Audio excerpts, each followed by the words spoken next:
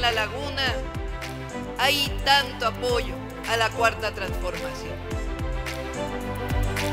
Porque aquí hay el recuerdo siempre del general Lázaro Cárdenas y su repartición de tierras.